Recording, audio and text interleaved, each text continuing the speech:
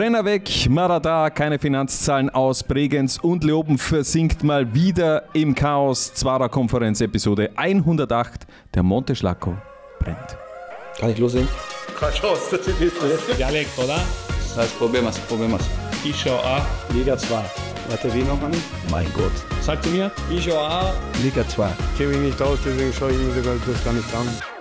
Als 2021 in Leoben die Mission 2028 ausgerufen wurde und in den Jahren danach der Aufstieg in die zweite Liga gelang, klang alles nach einem Fußballmärchen. Mittlerweile entwickelt sich die Situation in der Obersteiermark aber in Richtung Horrorfilm, bei dem es kein Happy End geben wird. Was ist passiert, Patrick und Harald?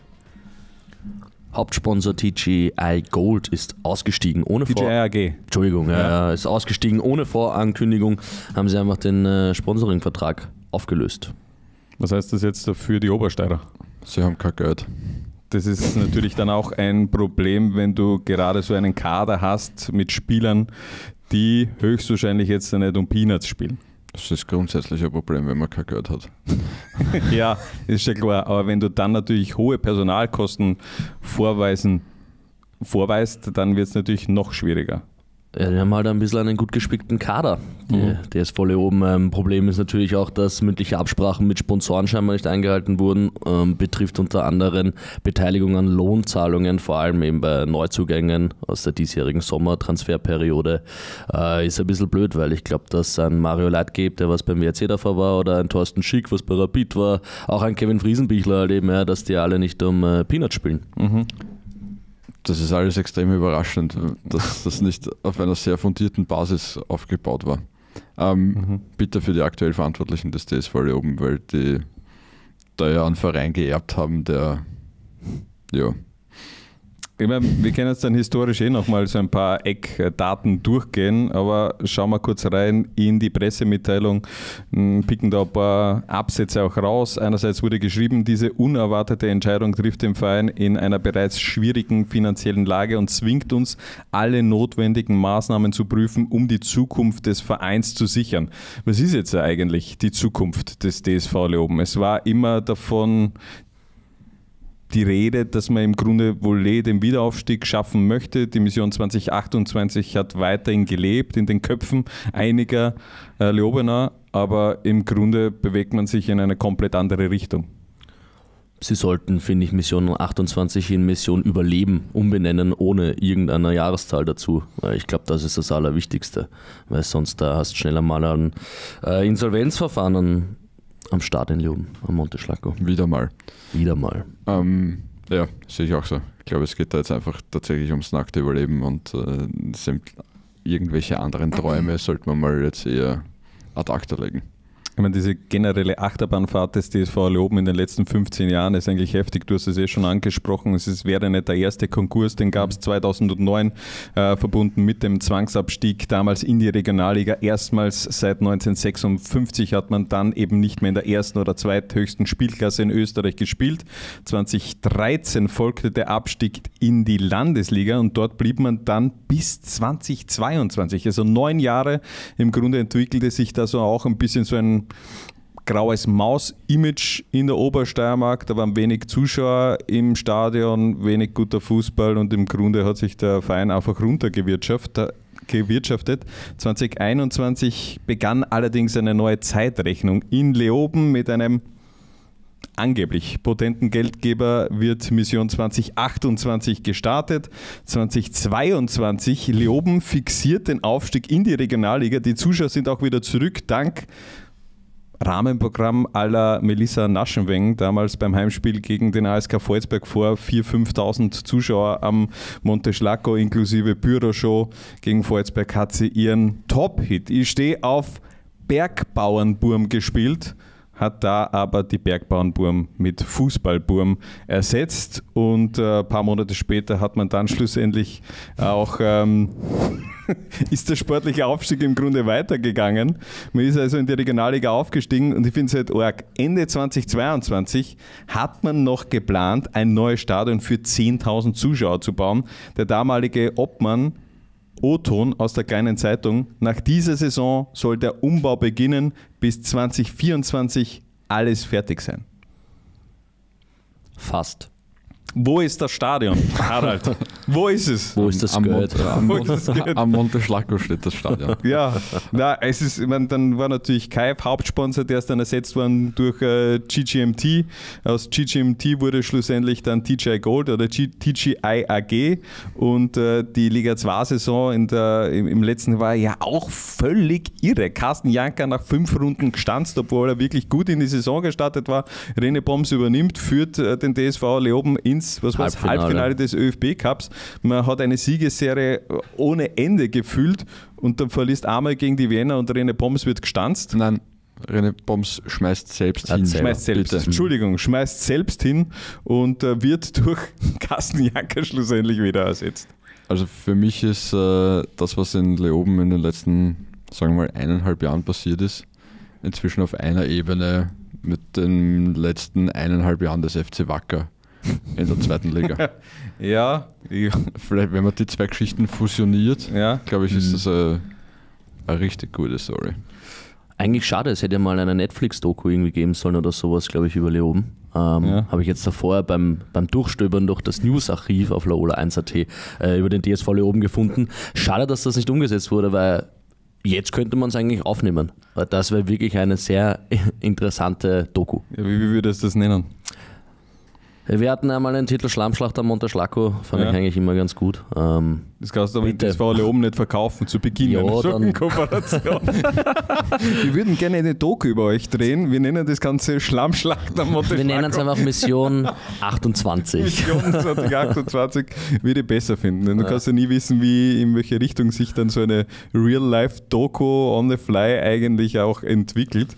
Ähm, ja, es ist, es ist total, total bitter und ich finde es eben schon, dass dann ähm, manche Menschen einen österreichischen Traditionsverein so ein bisschen Spielzeug und eine Art äh, Monopoly-Gegenstand ähm, verwenden und dem im Grunde höchstwahrscheinlich jetzt gegen die Wand fährt. Ich meine, sie werden sich wahrscheinlich dann auch wiederfinden, wo sie vor 15 Jahren waren oder vor 10 Jahren. Und ähm, bin gespannt, ob man da irgendwie die, die Kurve noch kratzen kann, aber es schaut momentan nicht, nicht gut aus. Gleichzeitig schaut es aber wiederum gut aus für Hertha Wels. Ja, Da wird ähm, man das wohlwollend aufgenommen haben. Äh, noch einmal ganz kurz vielleicht zu dem zum DSV Leoben zurück. Vielleicht hatte die Bundesliga ja doch recht, als sie die Lizenz verweigert hat. Ich gehe davon aus, dass das alles richtig war. Ja, schau. Ich meine, wir haben ja, ich glaube, in der letzten Saison haben wir auch einige Special-Ausgaben zu DSV oben gehabt, wo wir diese ganzen Eckdaten, historischen Eckpunkte und da wieder Zitate aus früher nochmal hervorgehoben haben. Und ähm, Habt ihr eigentlich gesehen, dass bei der Presseaussendung, dass sogar der IBAN dabei ist? Ja. Also für alle, die die was die Presseaussendung gelesen haben und ganz unten, ihr könnt dann äh, ein bisschen ein Kleingeld überweisen an den DSV oben. Ja, nochmal zu dieser Pressemitteilung. Ich meine, wir können den noch einen Punkt vorlesen. Bereits seit Beginn der Saison 2024-25 befindet sich der Verein aufgrund zahlreicher operativer und strategischer Fehlentscheidungen der damaligen Geschäftsführung in einer prekären wirtschaftlichen Situation. Besonders im Bereich der Profiabteilung haben diese Fehlentscheidungen zu immensen Personalkosten und damit auch zu erheblichen Nebenkosten geführt. Ich meine, das muss ja jedem klar sein, dass jetzt ein Carsten Janker, ein Thorsten Schicker, ein Mario Leitgeb, ein Kevin Friesenbichler jetzt kein äh, Regionalliga-Gehalt bekommen. Dafür ist Leome jetzt nicht so der Place to be, dass du sagst, okay, das nehme ich im Kauf. So, Alter, ich ziehe nach New York und verdiene ein bisschen Ich mein, weniger. Nur, nur damit man es vielleicht einordnen kann, es gab einen Stürmer, ähm, dem der DSV Leoben, als er noch vor dem Aufstieg, als er damals in der Regionalliga war, ein Monatsgehalt von 9000 Euro angeboten hat. Angeboten, also hat er nicht er hat unterschrieben. damals nicht unterschrieben. 9000 Euro, ja. Ja, wäre mir auch zu wenig gewesen. Ja, verständlich. Ja. Hätte ich auch nicht unterschrieben. Ja. Nein, arg. Dich haben sie auch nicht gefragt. Und da, da, da, das sind eben die Sphären, in denen man sie Mhm. bewegt und ähm, halt eigentlich zu Unrecht bewegt, wenn man ehrlich ist. Und dementsprechend große Chance jetzt für Hertha Wels aus diesem No-Show vielleicht in der Hinrunde von DSV Leoben da ein bisschen auch ähm, ja, der, der Lachende, nicht Dritte zu sein, sondern der, Der derjenige, lachende der, Zweite. der lachende Zweite. Hat eigentlich Öte jetzt an, äh, gefragt um eine Lizenz? Die waren Bin beim Workshop sicher. dabei. Ja. Ich sage euch, am Ende ist ausgeöht der lachende Dritte. Askeöd gegen, Abwarten. gegen Hertha Wels.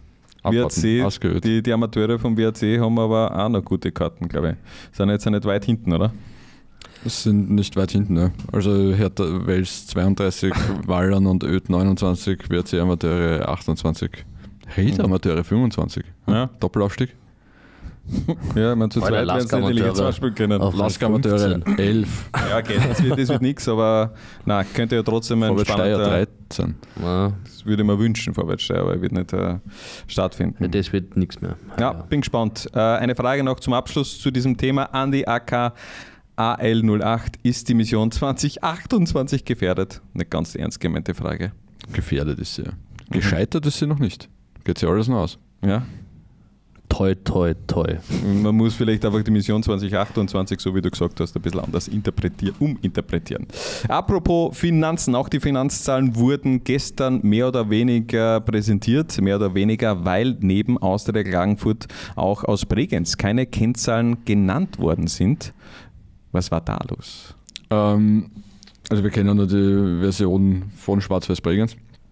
Ähm, erstens einmal musste der Verein ja quasi drei separate Jahresabschlüsse erstellen, nämlich für den Verein, für die GmbH und dann einen konsolidierten Jahresabschluss für die gesamte Gruppe.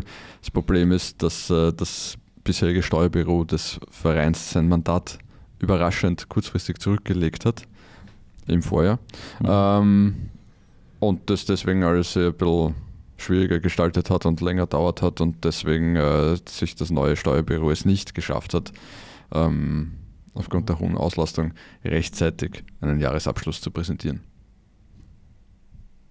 Ja, sie wollen es nachholen. Ja, Müssen es auch, weil sonst gibt es keine Lizenz. Folgendes kam von Bregenz. Wir bedauern es sehr, dass der geprüfte Jahresabschluss nicht fristgerecht bei der Bundesliga eingereicht werden konnte. Dennoch haben wir am 15.10. die vorläufigen für den Lizenzantrag für die Saison 2024-25 notwendigen Finanzunterlagen fristgerecht eingereicht und die Bundesliga über die Verzögerung informiert. Mehr kann man eigentlich nicht sagen. Ja, Ja, also es kann von Punkteabzug bis äh, Geldstrafe natürlich jetzt alles passieren. Sage mal, Geldstrafe ist realistischer, aber mhm. Mhm. ja, die Austria hat letztes Jahr mit einem Punkteabzug gestartet. Ne? Bleiben wir gleich im Ländle. Wechseln allerdings die Farben von schwarz-weiß zu grün-weiß, denn Austria Lustenau hat einen neuen slash alten Trainer. Der Meistermacher von 2022 ist wieder zurück. Markus Mara unterschreibt bis 2026, sprich die Zeit von Martin Brenner ist vorbei. Ja. Wir gratulieren zum neuen Job. Markus Mahler. Ja. Na, ich finde es, äh, es war so ein bisschen absehbar nach den letzten Ergebnissen, wo es ja wirklich nicht so gut funktioniert hat. Auch am Freitag das 0 zu 1 gegen ASK Volzberg.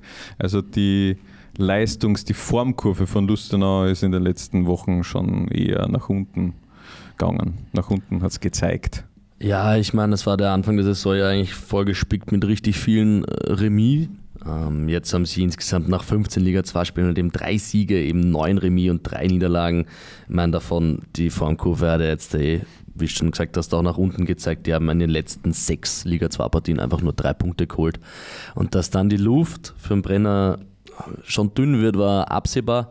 Freut mich persönlich sehr für den Markus Mader, dass er wieder ähm, auf ein Trainerbänkle sitzt und ähm, in Liga 2 jetzt da wieder ja, sich beweisen kann.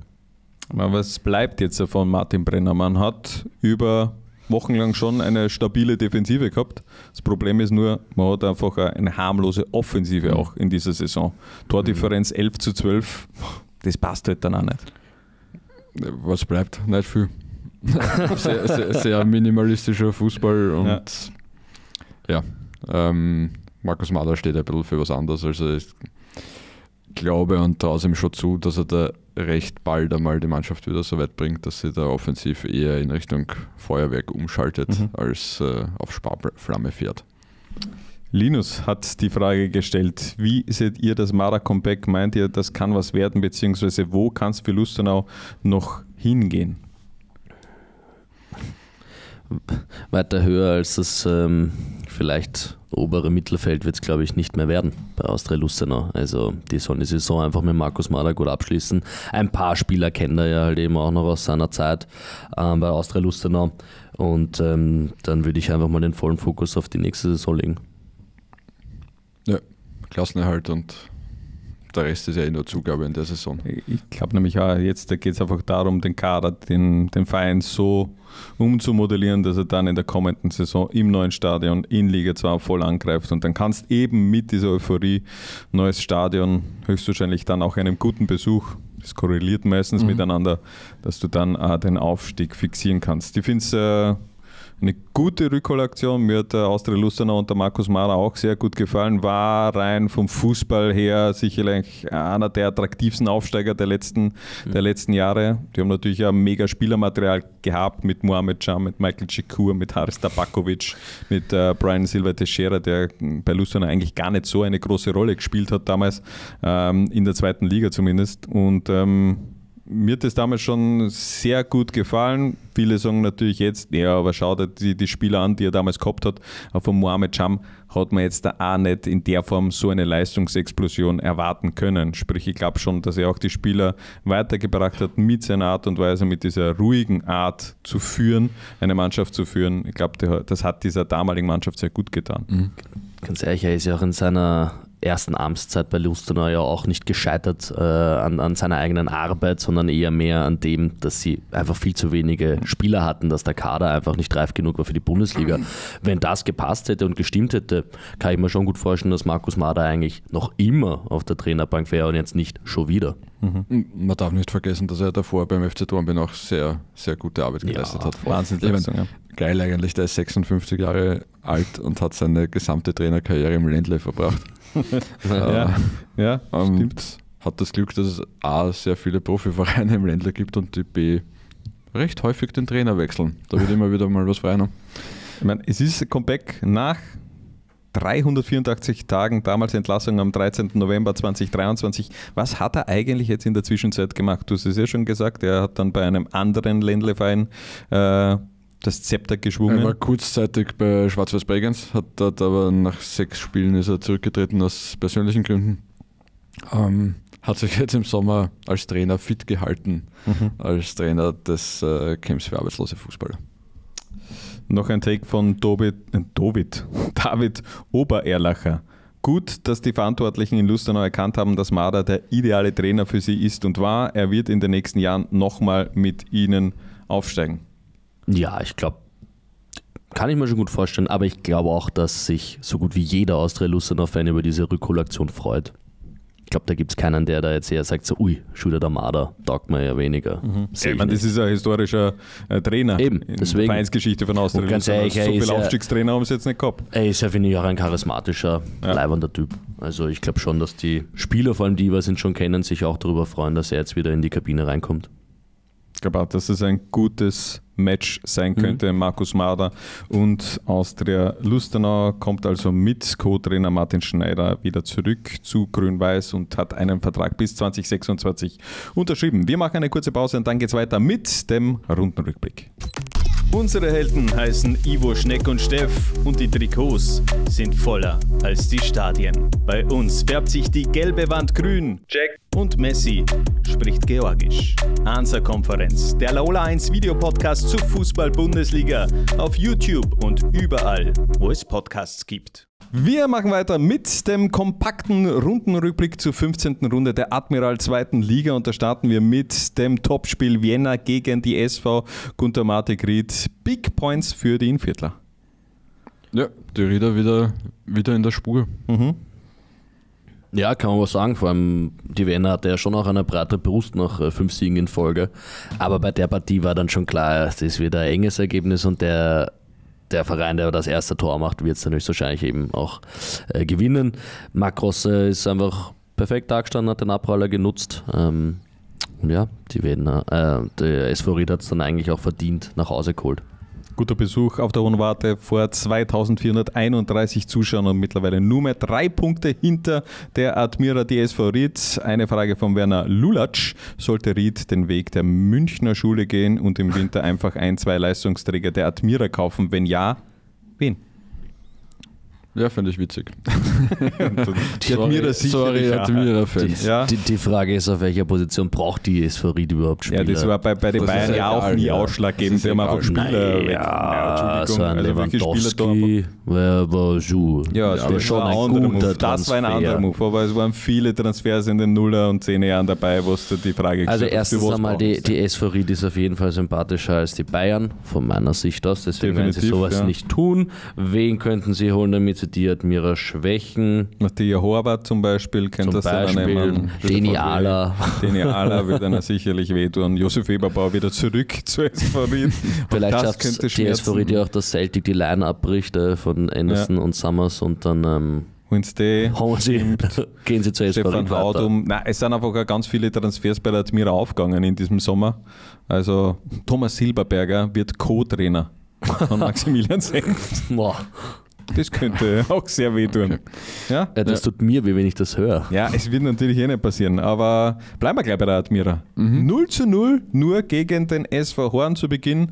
Schöne Aktion der mitgereisten Admira-Fans. Pyro-Show im Waldviertel, aber dann ist es kalt weitergegangen nach diesem hitzigen Beginn. Ja, ich meine, ab der 26. Minute die Admira nur noch zu 10. Von daher ist schon klar, so ein 0-0. Aber ähm, es war nicht das Wunschergebnis der, der Admira, aber es muss dann auch einmal einfach mitnehmen auf dem Weg zum Titel. Ja, ich glaube, sie, sie bleiben da auch ganz, ganz beruhigt. Also, sie versprühen da jetzt keine Panik nach diesem 0 zu 0. Also von dem her alles gut. Drei Punkte Vorsprung sind es noch immer. Und ähm, für Horn endlich mal wieder ein Punkt nach fünf Niederlagen in Folge. Und bleiben wir ganz kurz noch beim SV Horn. Ich weiß, ich mache jetzt irgendwem von euch ein bisschen zusätzliche Arbeit, aber können wir kurz das Logo vom SV Horn und von Botev Plovdiv bitte ein, Ja, einblenden? Gerne, Harald. ja. Danke. Das ist das Ende der Story schon wieder. Äh, auch Rapid hat ein ähnliches Logo, finde ich, wie der SV Horn. Und äh, Botev, na wie? Botev Plovdiv. Botev Plovdiv und äh, auch Rapid 2 hat dieses Logo. Die haben beim SV Stripfing gespielt und 3 zu 2 gewonnen. Also sie haben es besser gemacht als die Kampfmannschaft. Ja, stimmt. Kommt jetzt erst drauf oder was? auch geil. Das ist die späte Rache für das Cup aus. Nein, nein, ähm, ja, ich spiele mehr, das habe ich am Freitag eh schon festgestellt. Ähm, Aber jetzt äh, über die Tage hinweg wieder ein bisschen vergessen. Ja, wunderschönes Tor, äh, die Kombi von äh, Niki Ja. Wurmbrand und Tobias Hedl. Blicken wir da nochmal kurz drauf auf dieses Tor zum zwischenzeitlichen 2 zu 1 der Hütteldorfer durch Tobias Hedel. In der Entstehung Niki Wurmbrand, das ist so ein Messi-Boateng-Kombo auf Liga 2 Niveau gewesen und dann die Vollendung von Tob- Tobias Hedel auf Champions League Niveau. Welcher Boateng? Ja, wollte ich auch gerade fragen, welcher Boateng? Ja, der Jerome Boateng natürlich. Gegen wen hat denn der Messi gespielt damals? Gegen die Bayern. Ach so, Ja. ich dachte, wie der Ah, Wurmbrand okay. vorbeigegangen ist, Ja. weil vom Ja, eh. Speed her hätten wir auch den Calvin Boateng jetzt Ach nehmen so, können, dass der nein, da nein, vorbeigestochen natürlich ist. nicht, aber was die, dieses Porsche. Champions League Spiel Okay. Barcelona, wo der Boateng in die andere Ja, Richtung na, stimmt, geht und der Messi vorbeigeht und äh, Ja. ja. Ramseymer hat da jetzt nicht sattelfest ausgesehen, wenn man ehrlich ist. Also da ist er sich ziemlich leicht die, die Butter vom Brot nehmen lassen. Er hatte die Butter nicht einmal. Er hat die Butter. Er wollte sie haben, aber Ja. die ist ganz schnell weg gewesen. Sehen wir hier vielleicht auch das grün-weiße Sturmduo der kommenden Saison? Niki Wurmbrand und Tobias Hedel? Ich meine, da haben sie ja momentan Probleme. Was ist mit dir, Bellio? Ja, der ist eher da, ja. Geht der das? Ich meine, er ist ausgeliehen. Also noch ist das nicht fix, dass er äh, übernommen wird, ja. Nein, aber schau, ich sage nur so, dass man da in der zweiten Liga wirklich auch mittlerweile sehr gute Spieler nachproduziert bei Rapid, auch in der Offensivabteilung Ja. mit Tobi, Tobi Hedl, mit einem Niki Wurmbrand, und Noah Bischof, den man ja jetzt eher schon hochgezogen hat. Also ich Also- glaube, Rapid wäre gut beraten, wenn sie die ähm, der kommenden so Saison von mir aus wirklich öfter oben dann einfach einsetzen, weil mh, steigert den Marktwert auf jeden Fall. Ja, aber ich meine, die, die Durchlässigkeit bei, bei Rapid ist ja grundsätzlich sehr hoch. Also ich glaube, da kann man einen wenig bis gar keinen Ja. Vorwurf machen. Deswegen Haben wir mache ich mir da auch- keine Sorgen, dass die da nicht draufkommen sollten. Haben ja in der Saison auch schon in der Bundesliga gespielt, Niki Wurmbrandt und Tobi, äh, Tobi Hedl, beziehungsweise Niki Wurmbrandt, die eh schon vermehrt in der Bundesliga auch im Einsatz gewesen. So, und jetzt kompakt noch vier Spiele, ganz kurz. Ich hätte jetzt ja gern dann ein, einen Wolfsschrei von dir, Patrick. Warum von mir? Ja, weil du das immer machst. Ja, wenn der, Beim Kollegen wenn der. Jackie Regler vorbeikommt. Au! Ja, warte noch nicht. Es kann Zu St. spät, Pölten. Nein, nein, jetzt warte, warte, warte. Es kann St. Pölten gegen den SV Lafnitz. Erster Heimsieg der Wölfe mit dem 3 zu 0. Au! Genau. Liefering gegen Amstetten. Auch da müssen wir auf eine Traumkombo des SKU schauen. Zum 3 zu 1 Endstand Yannick Wanner. Vorarbeit von Can Kurt, Grubhofer und Dominik Weichselbraun. Das war richtig schön gespielt von den Mostviertlern. Ja, richtig stark. Barcelona in seiner besseren Zeit. Ich wollte es gerade sagen. Barca-Vibes. Ja. Ich meine, und Liefering halt eher als äh, staunender Zuschauer mit dabei gewesen in dieser Szene. Durchaus, ja. Ja, aber trotzdem wirklich sehr, sehr stark gemacht und äh, nächstes Tor von Yannick Wanner, nächster Sieg für Amstetten. Also da läuft es in dieser Saison wirklich sehr, sehr gut. So, absoluter Banger der Runde. Sturm 2 gegen den FAC. 70 Zuschauer sahen ein unfassbares 0 zu 0 in Gleisdorf. Ja, keine Ahnung, wie, wie kalt es war in Gleisdorf, aber ich muss schon sagen, die 70. 70 Zuschauer muss man dann aber schon noch positiv hervorheben, dass sie sich. Ähm, Weißt du, wie posi- wie willst du die 70 Angetan positiv haben. hervorheben? Ja, du kannst diese 70 Zuschauer nicht positiv hervorheben. Ja. Sie- 70 Zuschauer ist wirklich brutal. Mhm. Also, Es ist, da waren nicht einmal alle Eltern von den Sturmburschen da. ja, ich. das, das ist die, was? Ja, von Sturm 2. Die Ach so. haben, sind meistens jüngere. Ja, ja. Kicker, Na ja, wo dann vielleicht dann nur die Eltern, der Onkel, die Tante Klar, und so klar, klar. zu Besuch sind. Da war keiner. Hm. Wo ist die Familie? Ja. Wir, wir, haben- wir haben so gut Werbung für Jakob Hödel gemacht, Ja. keiner wollte ihn anschauen. ja. Manu Sakaria noch einmal gespielt unten. ja. Ja. Und? Vor 70 Zuschauern. Ja.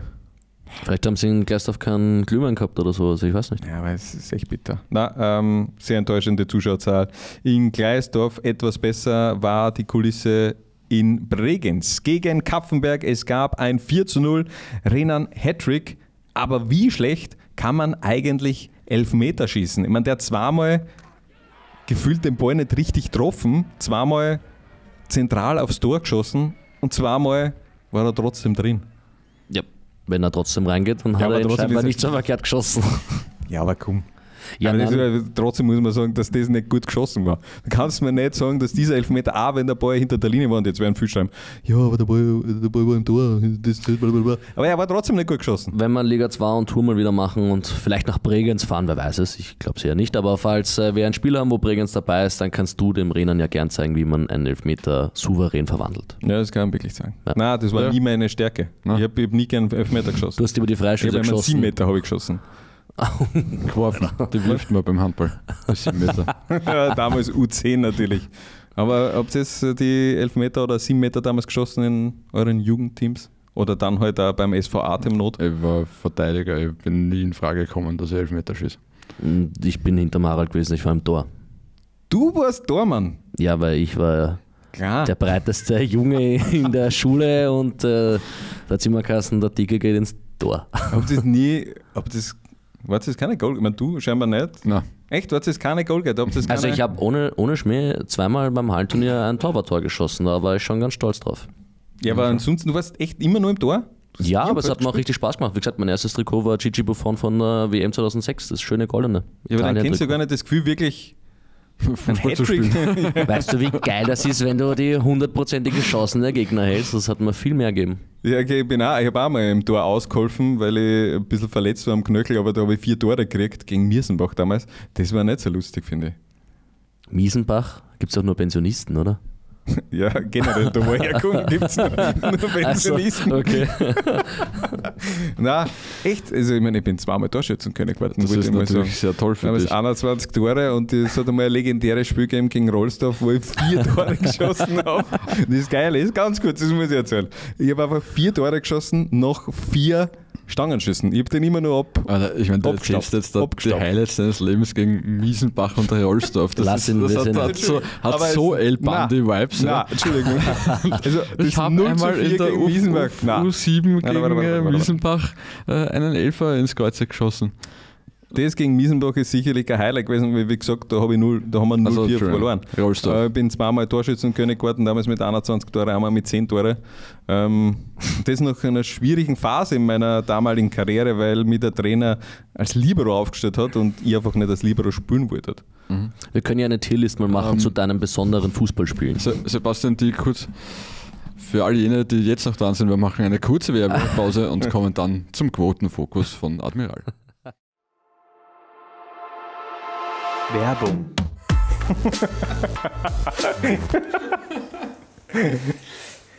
Gut. Mein erstes Tor habe ich gegen Bingo Oh. geschossen. So, na, weiter geht's mit dem Quotenfokus. Gemeinsam mit unserem Sportwettpartner Admiral blicken wir auf das äh, Admiral Topspieler 16. Runde, das da lautet Rapid 2 gegen den SV Horn. Die Quoten hierfür Sieg Rapid 2 1,56, Remis 4,15 und Sieg Horn 4,20. Das erste Saisonduell konnten die Rapidler mit 3 zu 2 für sich entscheiden. Was sehen wir am Sonntag zum Abschluss dieses Liga 2 Jahres? Einen Hornsieg. Ja, Tipp. Also, ähm, 2 zu 1. Wirklich. Also ich ähm, sehe da schon eher mehr ein äh, Sieg von Rapid 2. Ein äh, 2 zu 0. Ich glaube nämlich auch, gerade jetzt Rapid mit dem Sieg gegen Stripfing generell starke äh, Hinrunde bislang gespül, gespült, gespielt und Horn trotzdem schon sehr in Abstiegsnot. Von dem her glaube ich, dass Rapid 2 gewinnt mit 3 zu 1. Werbung.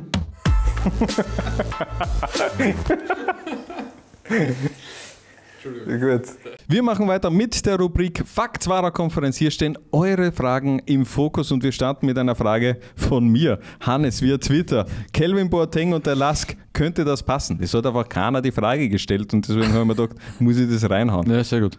Warum hast du das via Twitter und nicht via Blue Sky gestellt? Ja, stimmt. Oder wir haben Laola geschrieben. 1. Oder La ich habe es ja nicht einmal geschrieben. Es ist eigentlich eine Lüge. Sehr gut. ähm, ja, die oberösterreichischen Nachrichten haben berichtet, dass sich der Lask mit Kevin Boateng beschäftigt. Der Lask braucht natürlich dringend neue Stürmer, weil er hat in der Wintertransferzeit noch erst einen verpflichtet. Ja. Ähm, Also sie versuchen jetzt die Sturmposition auch so aufzublasen wie die Innenverteidigerposition, dass es so zwei solche ähm, Zonen gibt Fünf, in einer fünf. Mannschaft. genau, fünf. ähm, ich kann es mir nicht vorstellen. Ich glaube nicht, dass er da ähm, gut reinpassen würde.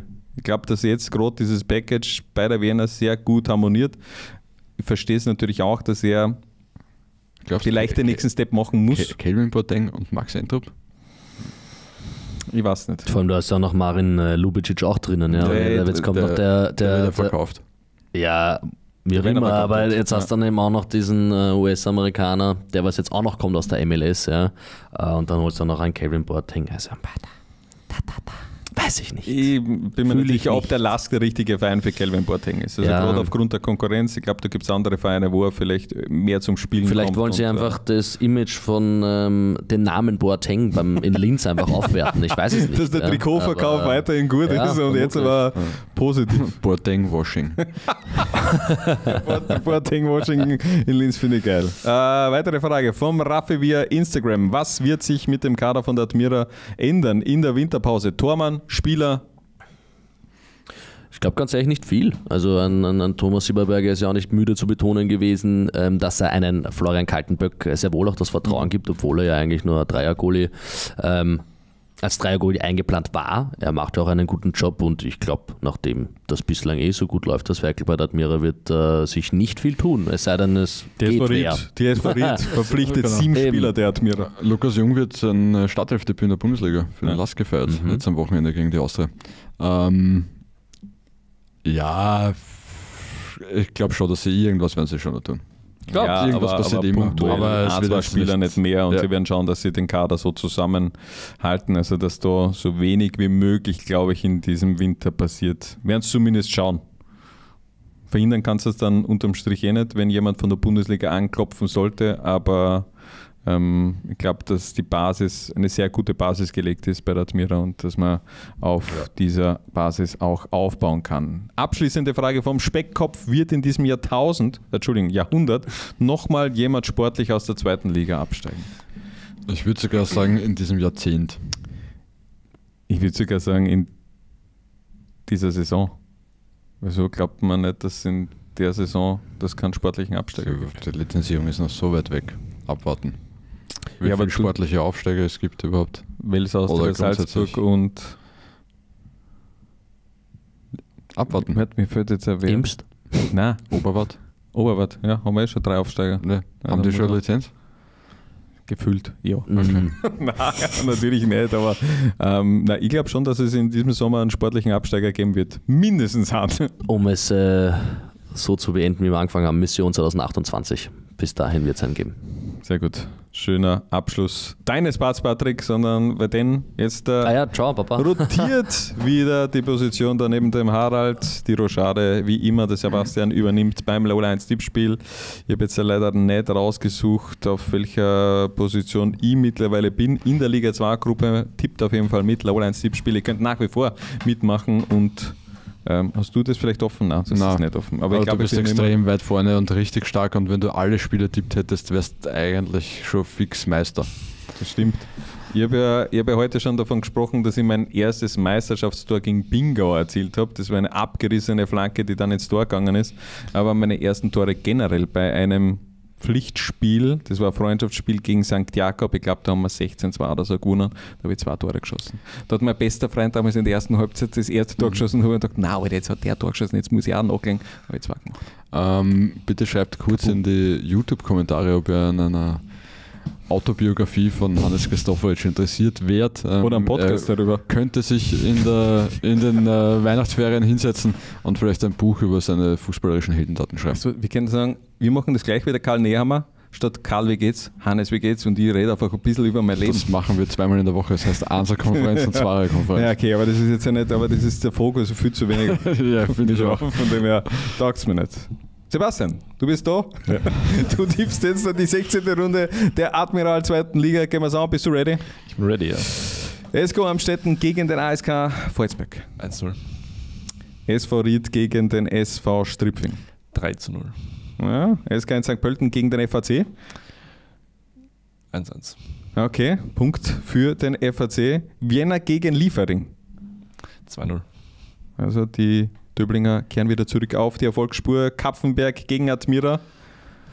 1 zu 2.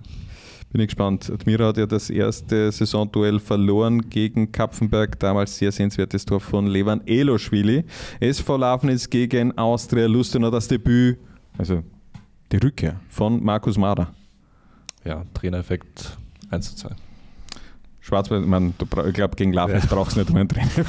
Oh. Schwarz-Weiß Bregenz gegen Sturm 2. Ähm, 0 zu 2. Zakaria Doppelpack. Spielt Zakaria wieder in der, in der Zwarer? Was, sehr gut. Und abschließend der Jahresabschluss in Liga 2. Rapid 2 gegen SV Horn. 3 zu 0. Also etwas anders als der, der Patrick. Na, du hast, du hast Horn getippt. Ja. Ja. Also von dem habe ich schon wieder alles vergessen. Ich war, so, ich war nur mit dem Bingo und St. Jakob ja, unterwegs in meinem Kopf. Ähm, das war die zweite Konferenz, die liegt nur irgendwas auf der Zunge scheinbar. Nein, über, überhaupt nicht. Du schaust so Fragen. Ich schaue, wann ich endlich gehen kann. Sehr gut, ja. Abonniert und äh, liked und gibt Herzen und Sterne und alles drum und dran. Und was was, weil wir nächste Woche das Team der Herbstsaison wählen, äh, könnt ihr uns auch gleich in den Kommentaren eure Vorschläge raushauen. Mhm. Wer soll da nicht fehlen? Also welchen Spieler müssen wir unbedingt in dieses Team der Herbstsaison reinwählen? Nächste Woche dann mehr in einer Answer-Panier zur Herbstsaison der Admiral zweiten Liga. In diesem Sinne noch eine letzte Runde. Gönnt euch Liga 2 auf Low Lines und tragt es in die Welt hinaus. Viva la Liga 2. Ciao. Ciao.